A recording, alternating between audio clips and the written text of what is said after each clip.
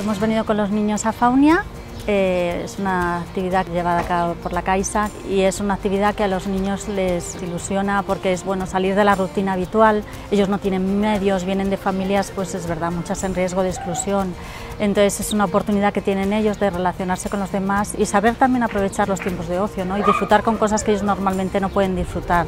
Hoy hemos ido en, en un autobús y hemos venido a Faunia a pasárnoslos bien y a ver animales. Lo que hacemos es acompañarles a ellos, incentivarles un poco el que pues, participen en la actividad, alegrarles, el contarles chistes eh, o el contarles cosas, el motivarles. Lo más gratificante es, sentir que para estos niños se lo recuerdan toda la vida, porque es una cosa especial que no hacen nunca y, y que, notas de verdad que les haces felices.